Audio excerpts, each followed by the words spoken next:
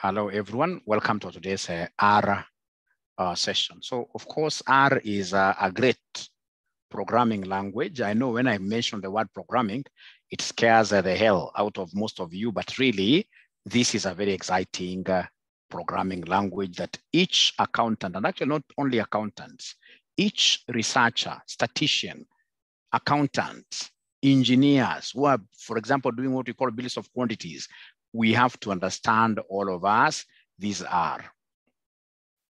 All right, so I would want us to start right away, first of all, by downloading the R, R Studio. So I want to imagine that all of us have uh, this R Studio. So go there, and of course, uh, you're able to download it. So here I've been able to open it. So once you open this, I would want you to acknowledge that you, you will always have four areas we have this area that we call a scripts area. We have our environment where we shall be taking our data objects or our objects basically. We have, uh, in this particular case, this space here, where we shall be having our graphs, for instance, going, our plots, etc. And then of course we have our console. Console is where I will be getting my feedback as I do my scripting.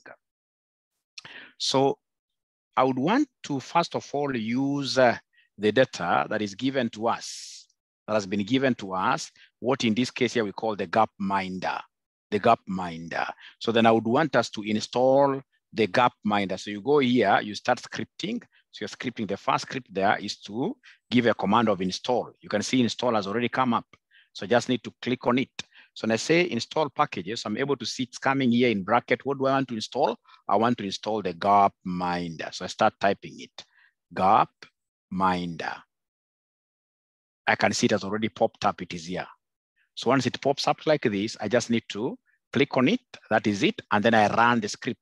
To run the script, you can see this icon, run the script, or basically you can press control enter. You can press control enter to run a script, to run a line.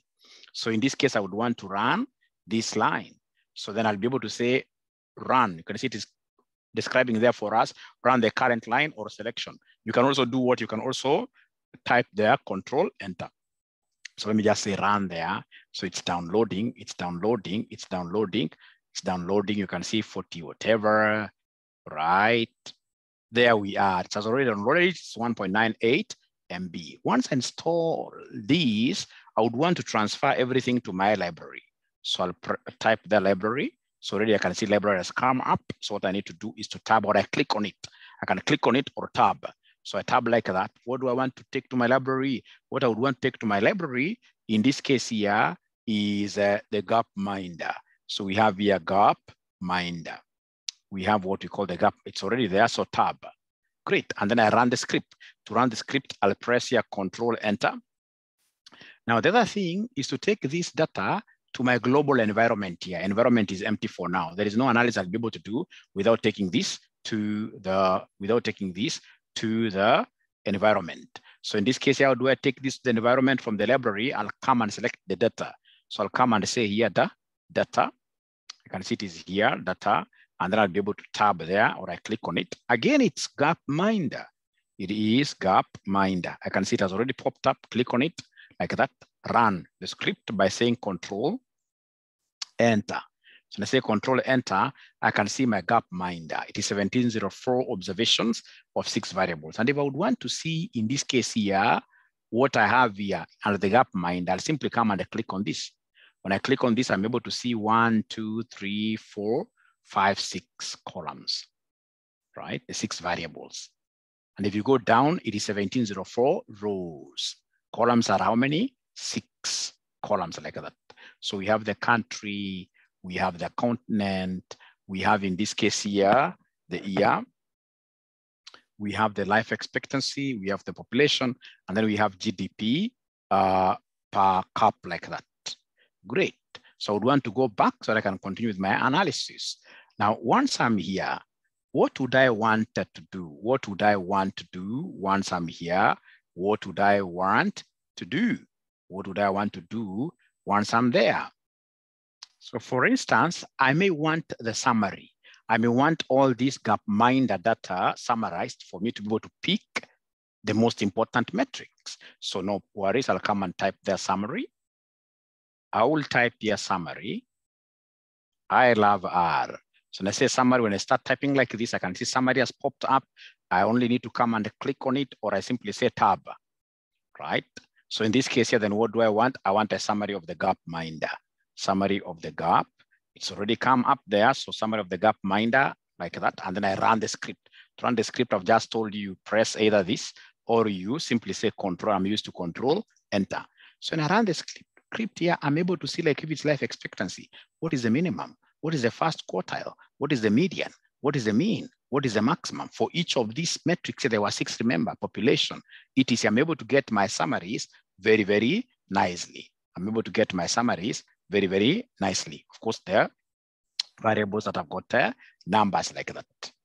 So if it, is a population, I'm able to pick that the country amongst those countries given there, the one that has got the list is this one here with about 6 million people. ETC, ETC, like that. Then I have the GDP per cap. So I'm basically able to pick a few parameters. Now, what if, for example, you know, this could be also overwhelming in terms of interpreting, yeah? right? What if I want to get the mean, the mean of a particular variable like population?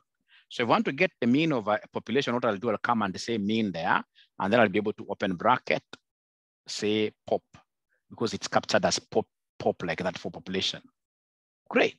Then I'll be able to say, in this case here, control enter. So what are you seeing here? Error, right? Error. Why? Because I've not yet specified, and they're telling you the object pop is not found. R is very interesting. So if I would want to find it, I have to find it within my data called in this case here Gapminder. So I'll come and continue typing here, Gapminder, Gapminder. And because I'm now only interested in population alone, I'll come and put what here, dollar sign, population. So the mean of the population, which is well within the gap minder.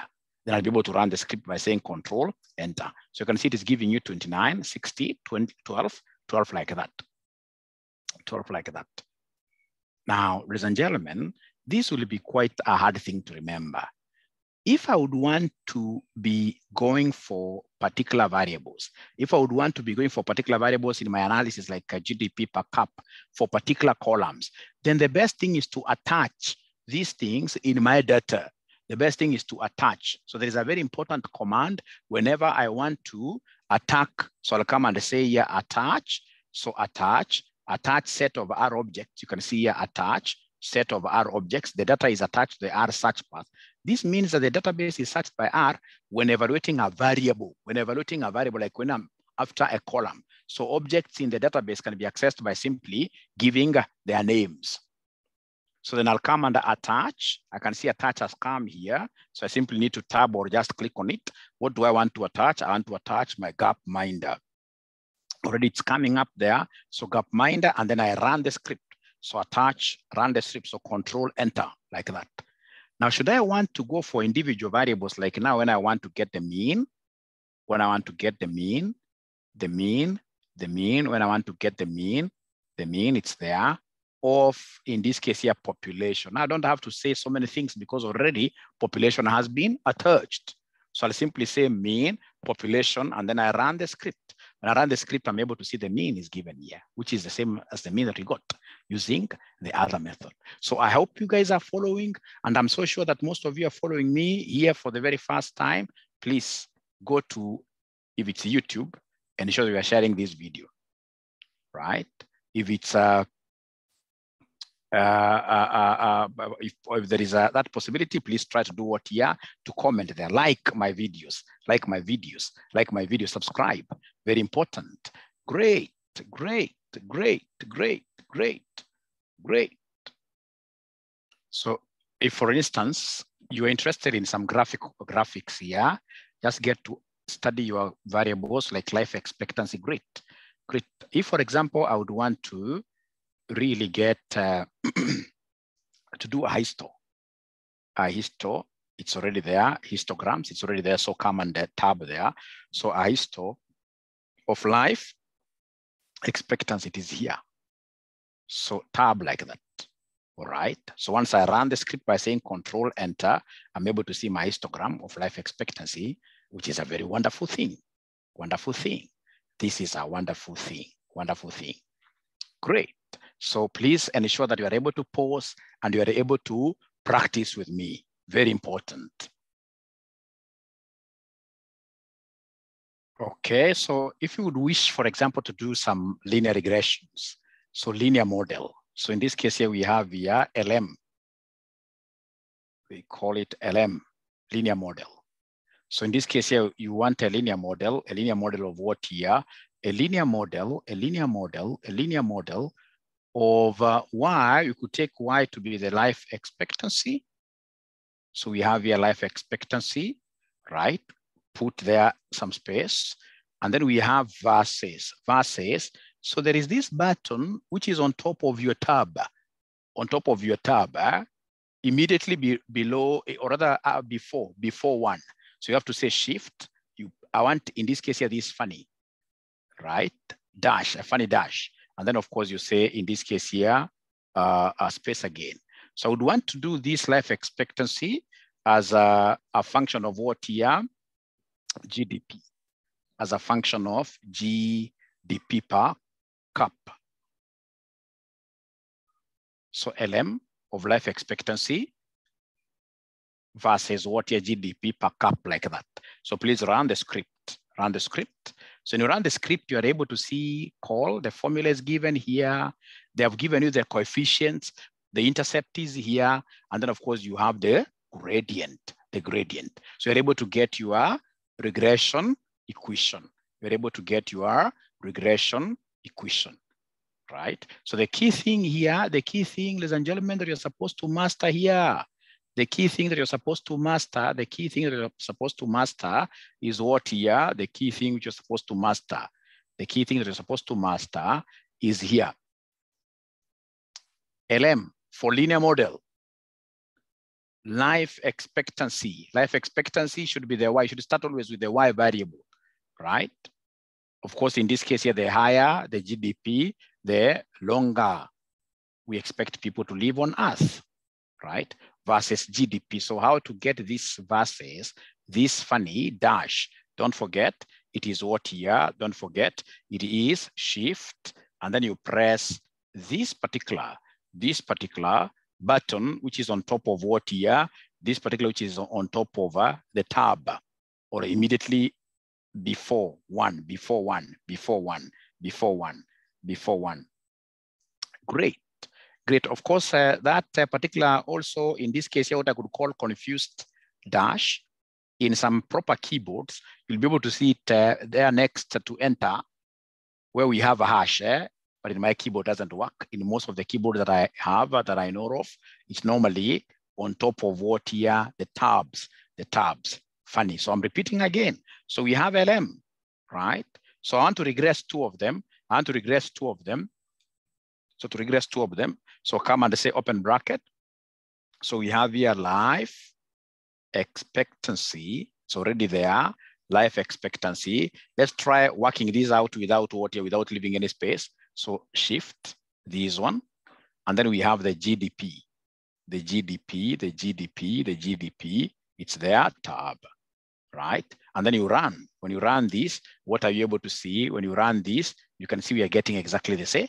The same. And then the good thing with this is that, for example, if we would want some multivariate, if we would want some multivariate, multivariate, a multivariate regression equation, you simply come and uh, add your second, for example, You your second, for example, what here, You your second, You your second, You your second, independent variable like population, You your second independent variable like the population, and then you run the script. You run the script. So you'll be able to see now here, we have uh, life expectancy versus GDP and the population. And they have given you coefficients here. You have the intercept, you have the gradient of uh, GDP, and then you have the gradient of the population.